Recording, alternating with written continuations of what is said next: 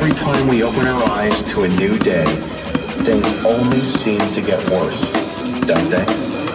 Tyranny is literally knocking at our door, and most of us don't even see it.